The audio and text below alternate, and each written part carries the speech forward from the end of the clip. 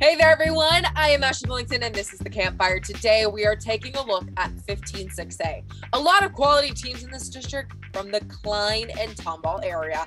After realignment, here are the teams of 156A Klein, Klein Cain, Klein Collins, Klein Forest, Klein Oak, Tomball, Tomball Memorial, and Waller. If you remember last year, Tomball made the playoffs on the last day of the regular season and parlayed that into an improbable state semifinal appearance. Let's analyze these teams in our film session. Klein Collins is a favorite in this district. Last year, they went 0 4 in the non district and then swept through district teams like a hurricane as the Tigers went undefeated in district play. Coach of the Year, Adrian Mitchell, has to be happy as he returns Newcomer of the Year, Tucker Parks, at quarterback and Chris Gant at defensive back. Once the postseason hit, Tomball was the Cinderella story as they went from last team in to a state semifinal game. They'll need to replace Cal Helms at quarterback, but they return 1,000 yard rusher Christian Womack. Klein Cain lost a lot to graduation, but Jalen Smith will be someone to rely on at the wide receiver position. Klein Oak should be a title contender behind super athlete Caleb Black and quarterback PJ Hatter. If you're looking for a dark horse, how about Klein Forest? They have one of the best junior wide receivers in the state in Jelani Watkins and big Brad Spence on the line. Tomball Memorial and Klein are a little inexperienced but may need time to gel. Waller moves up from 5A and hopes their transition to 6A goes smoothly. I think one of the Klein teams may step up and take the district crown this year. But let's hear what our experts have to say. Houston Chronicle reporter John Portman and producer Ward Fasold talk about these teams and our district breakdown. It's a district breakdown time. We are joined with John Foreman from the Houston Chronicle. When you talk 15-6A, you talk about the Klein schools, the Tomball schools, but they're adding Waller this year. How do you feel uh, this district is going to play out? Yeah, it's going to be interesting to see how some of these teams fare, uh, you know, with the offensive firepower that they lost to graduation. But you start with the defending champion and Klein Collins. You know that they're going to be in the mix at the top under Coach Adrian Mitchell. Uh, they're going to play tough defense. They're going to run the ball right at you. Um, you know, and, and so that's been a, a recipe for success for them in recent years. Uh, you kind of go down the line, though. The, the team that really had the best season out of that district was Tomball, uh, who was the fourth place team. Um, believe it or not, in the standings, they made it all the way to the state semifinals. Um, you know, under Coach Kevin Flanagan, uh, just a, a, historic year for the Cougars.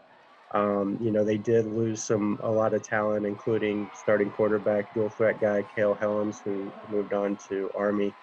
Um, you know, but the good news for Tomball is that they bring back a very talented running back, probably the top returning running back in the district, uh, with Christian Womack, who rushed for over 1,300 yards and, and 21 touchdowns as a junior. So, you know, right off the bat, you look at those two teams and, you know, you're kind of thinking that they're going to be in the mix at the top just based on what they did last year. Um, but then you look at Klein Oak, um, a really interesting team to me because they have a great – quarterback receiver duo with PJ Hatter and Caleb Black, uh, two really great athletes there.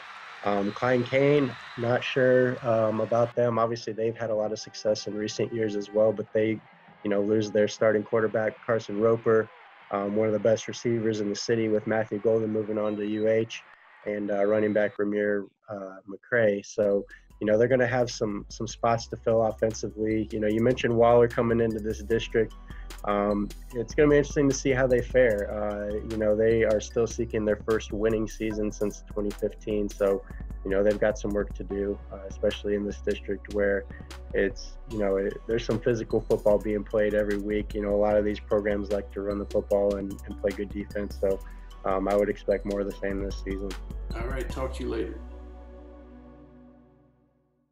The guys had much more to say on this district, and you can catch the entire district breakdown this Wednesday on our social media platforms. We've heard about the teams. Now let's take a look at some of the athletes to watch out for and our players on the rise.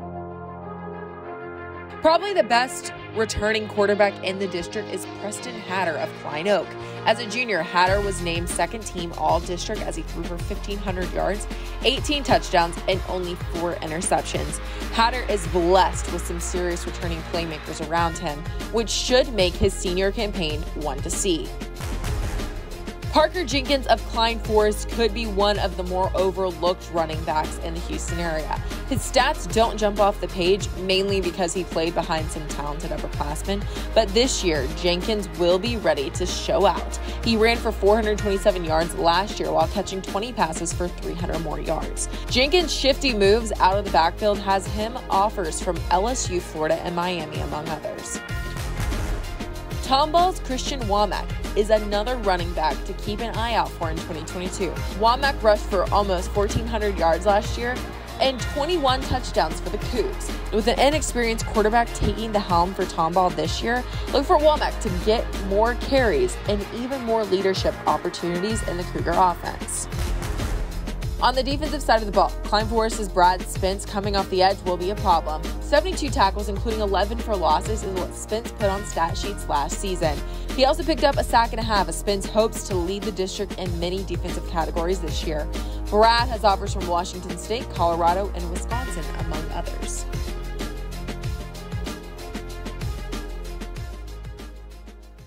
These are some great athletes that can single handedly change the course of the game. Earlier this week, our Ward Fasold had a chance to talk to Klein Oak head coach Brandon Carpenter to see if he feels his Panthers can snag one of those playoff spots in our Media Day segment. Media Day time, we're talking 15-6A, and we are here with Klein Oak head coach Brandon uh, Carpenter. Coach, let's talk about your district. Not a lot changed, but you did add Waller this year, uh, which means you don't have to hunt down one uh, one non-district game, right? So other than that, what do you, how do you feel the district may play out this year compared to other years? Man, District 15 6A is a fist fight every week. I mean, it is a very physical district. There's a lot of quality teams in it. Um, I mean, it, our approach going into this season is really no different than, than the previous, you know, years. We, we know we've got our hands full. We got to be well prepared and well coached to have a chance. And uh, our kids are up for that, and we're, we're ready to see how it plays out talk about some of your, your guys on offense coming back. You talk about Caleb Black. He's a multi-offer guy. I don't even know how many he's up to now, and, and I don't mean that to sound the wrong way, but it, it's it seems like every week somebody's coming in and, and he's, he's getting another offer. Um, you know, he's such a dynamic playmaker um, because he he can affect the game in so many ways. You know, he, he's a he's an inside receiver, an outside receiver. We play him in the backfield. He'll be really important to us in the return game. Um, just a really dynamic guy. Um, puts the ball in the end zone. I mean, there's a big premium for that when you're an offensive player. Um, you know, PJ Hatter is one of the best athletes in the country. That kid is phenomenal. Um, his ability to play quarterback at the level he plays at is impressive. Uh, complete mastery of our offense, makes all the calls at the line. You know, we're anybody that's seen us play, man, we're a pre-snap, post-snap, RPO, read game team, and um, man, he's he's the captain of the ship back there with that. Um, you know, Keyshawn Wooten, like I mentioned, being an RPO offense, you know, you know, 8, 10, 12 years ago when, you know, you were handing the ball to the tailback, you know, 18 times a game, um, you know, his numbers would have been a lot better, a lot different. But with what we do on offense, he understands, you know, it's RPO. I may get it, I may not. Um, he's he's critical in our pass protection stuff. He has great hands catching the ball out of the backfield. Um, does a lot of lead blocking in our quarterback run game. I mean, just the consummate glue of what really makes our offense work. I appreciate it, man. Thanks so much for, for having me on and, and uh, Oakland.